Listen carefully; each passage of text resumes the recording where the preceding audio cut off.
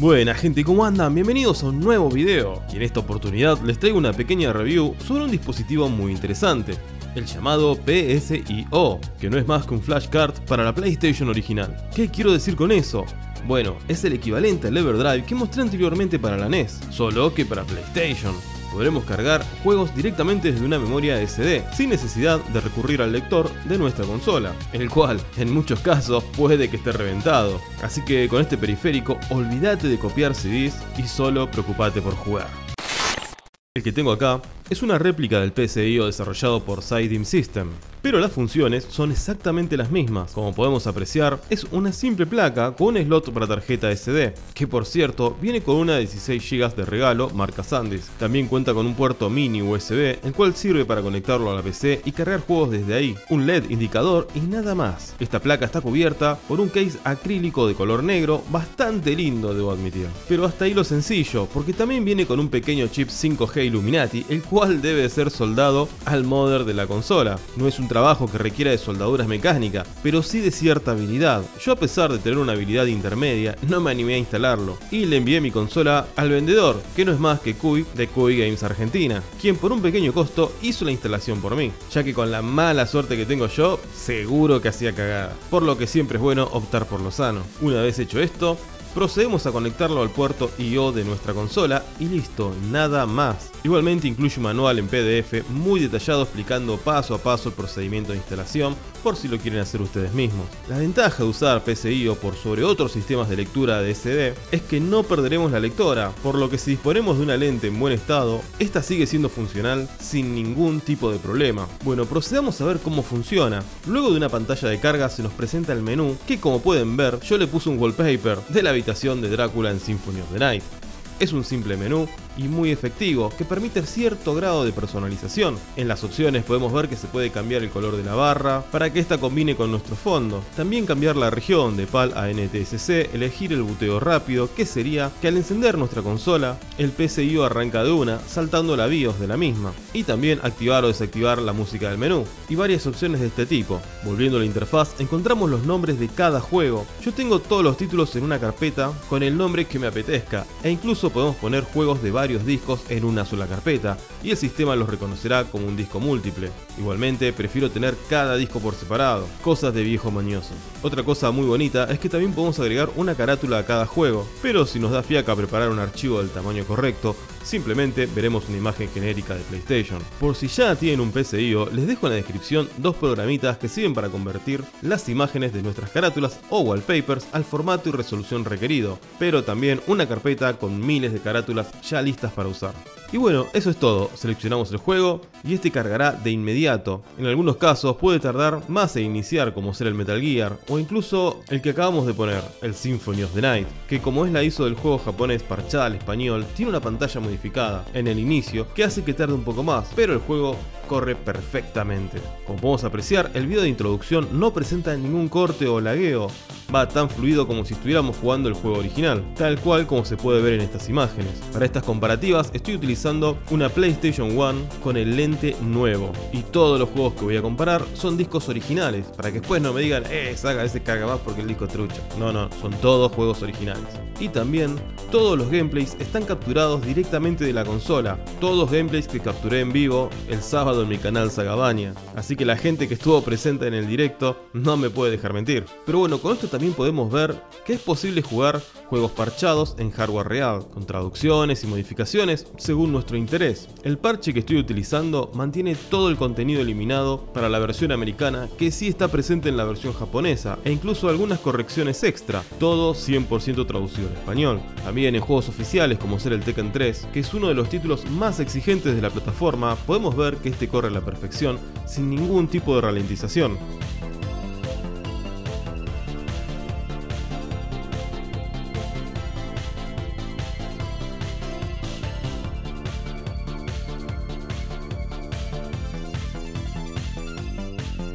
En cuanto a los tiempos de carga en relación a los juegos originales, en realidad es que sorprende. Por ejemplo, en títulos muy famosos por sus largos tiempos de carga como ser el KOF 96, podemos apreciar que el PCIO hace que los tiempos de carga se reduzcan en gran medida, casi a la mitad, y esto es algo genial, ya que enriquece muchísimo la experiencia a la hora de disfrutar de nuestra consola. Y ahora voy a mostrarles algunas comparativas de los tiempos de carga con respecto a los juegos originales. Pero antes, si estás buscando remeras de videojuegos retro, no busques más y entra al Instagram de Akumayo Store. Vas a encontrar los mejores diseños y calidad 100% en algodón. Todas las semanas diseños nuevos, todos los talles y colores. En la descripción te dejo el link a mi tienda de remeras para viejos sabrosos como vos y yo. En juegos exigentes como ser el Gran Turismo podemos apreciar una mejoría en los tiempos de carga,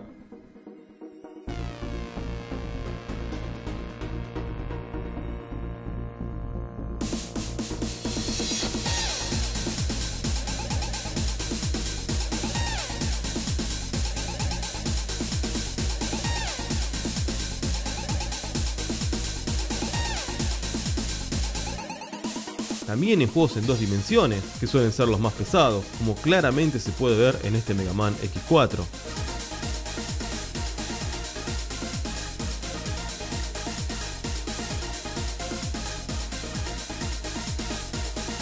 Como podemos apreciar, la diferencia es prácticamente nula, siendo los tiempos de carga menores en PSIO. Estas son las grandes ventajas del dispositivo. En una memoria de 128 GB que estoy utilizando, tengo prácticamente 200 juegos y aún me sobran más de 10 GB. Ya no sé qué más juegos poner. Y algo muy a tener en cuenta es que los juegos tendremos que bajarlos en formato BIN, IMG o ISO, pero lo más importante es que aquellos cuyo audio venga separado por tracks estén en formato BIN y no en WAV o MP3, por lo cual les recomiendo conseguir los ISO en sitios confiables con rips directos de los discos originales. Y una vez tengamos esto, es importante también utilizar la aplicación que nos viene con el dispositivo, la cual sirve para corregir algún que otro error en el archivo QE y ordenar de manera correcta los archivos de nuestro juego. Esto nos va a asegurar el correcto funcionamiento de cada título y solo llevará unos segundos.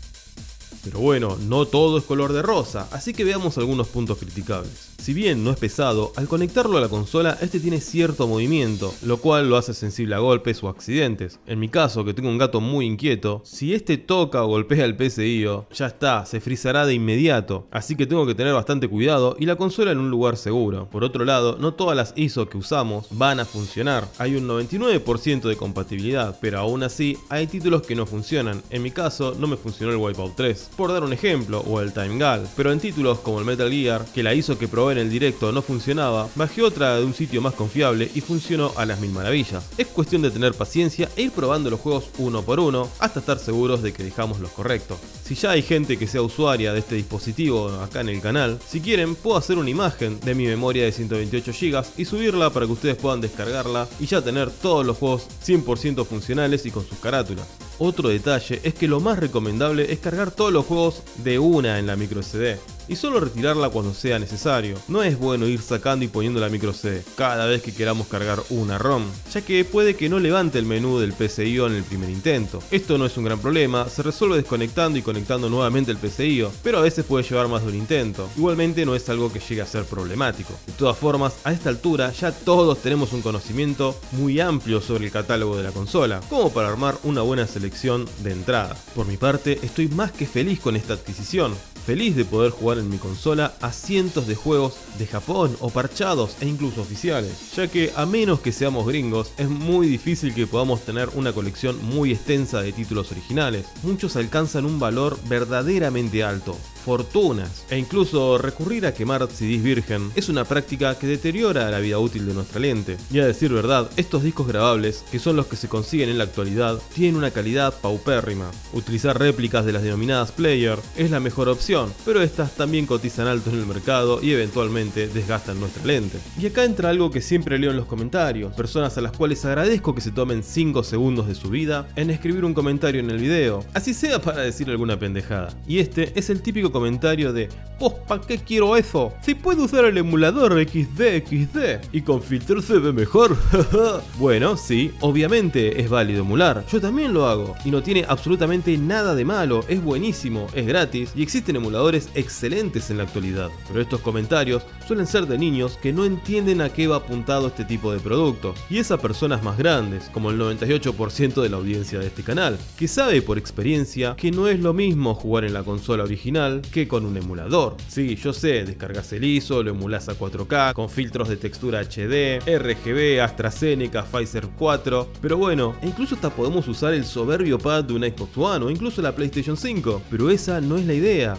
Esa no es la experiencia. El placer de jugar en la consola original pasa por replicar el sentimiento de la época que tuvimos dichas consolas, o sea, cuando éramos niños, o adolescentes en algunos casos. Tomar el mando original, el mismo que usábamos de chicos, prender la TV de tubo y que nos encandile con su poderoso brillo y maraville con sus hermosas scanline. Todo es parte de un proceso que remueve un sinfín de emociones en nuestro interior, que ni la mejor PC o móvil va a poder emular jamás. Es otra sensación, otra respuesta en el mando, es otra historia completamente diferente jugar en el hardware original. Y estos dispositivos son un verdadero mimo para el coleccionista, el aficionado o el que simplemente quiere pasar un buen momento frente a su TV de tubo y su consola antigua. Si son de Argentina y quieren hacerse con un igual, no duden en pasar por la página de Cubi Games Argentina y encargarlo. Como siempre les digo, es un vendedor de confianza, responsable y amante de los videojuegos como todos nosotros. Yo aproveché el envío y compré estos dos juegazos para mi colección de Sega Saturn. Y bueno, viejitas, hasta acá el video de hoy. Espero les haya servido para aclarar algunas dudas respecto al dispositivo y les recuerdo que pueden dejar un aporte al canal, sea por Mercado Pago o Paypal, el cual se agradece muchísimo y ayuda a que pueda seguir creando contenido de este tipo. Por otro lado, no olviden que también pueden acceder a una suscripción mensual por Mercado Pago, la cual consta de 250 pesos mensuales. Con ella van a poder tener el rol VIP, tanto en el canal de Discord como en el canal Sagabaña. Eso sí, si pueden no olviden contactarme por el WhatsApp que figura en la pantalla o en la descripción de este video, o incluso por cualquiera de todas las redes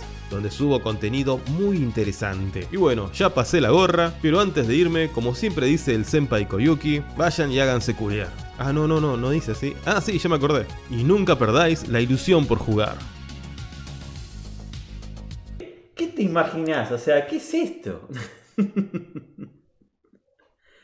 ¿Qué es esto? ¿Qué es esto? ¿Qué es esto?